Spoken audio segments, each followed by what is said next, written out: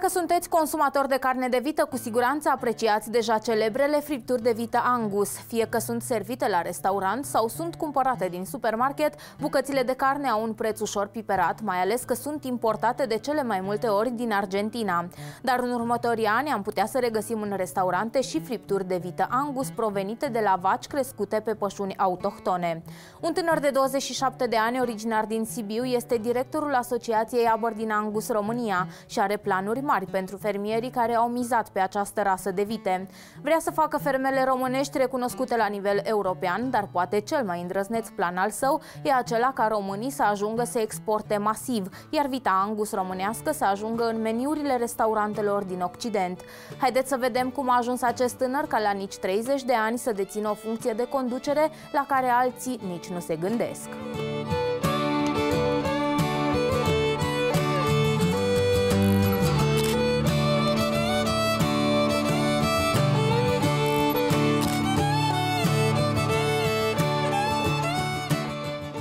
Sunt absolvent al facultății de zootehnie, mi-am făcut licența despre rasa Bortinangus, mi-am făcut și masterul despre rasa Bortinangus, actualmente este în desfășurare doctoratul meu tot despre rasa Bortinangus.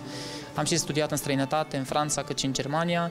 Uh, în momentul în care am vrut să mă întorc înapoi în Germania, m-am întrebat, bun, eu mă voi duce acolo, dar eu știu decât uh, doar partea teoretică din facultate, uh, nu știu și partea, partea practică. Așa am început o practică într-o fermă de apăr din Angus din România, nici bine nu mi-am dat licența, am primit această ofertă din partea asociației.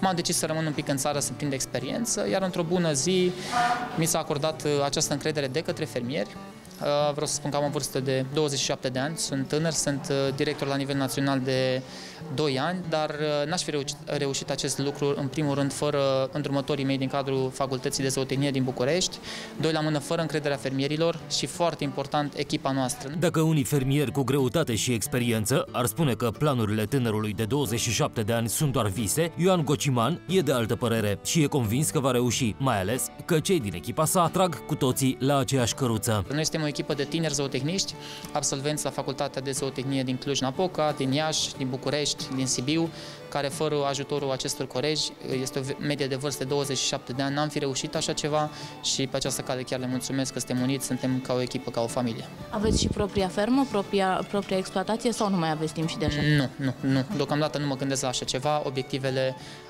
principale ale mele, cât și a echipei noastre, este să aducem uh, rasa Bărtin Angus, cât și interesele acestor fermieri la un nivel european ridicat, să dezvoltăm un nucleu valoros din punct de vedere genetic la nivel uh, național și ulterior la nivel european și să facem un brand european din carnea de vită din România, pentru că merităm, avem potențial. Nu trebuie să plecăm toți tineri din străinătate să muncim terenurile străinilor, trebuie să mai rămânem și aici, să ne luptăm, pentru că dacă am plecat toți, am vinde tot și efectiv uh, ar valorifica străinii toate aceste, toate, tot acest potențial al țării. Deși a primit oferte bănoase de la ferme din străinătate, tânărul le-a refuzat fără să stea pe gânduri și e convins că în România, în fruntea asociației Aberdeen Angus, va avea mai multe împliniri decât într-o firmă no-name din Germania, de exemplu.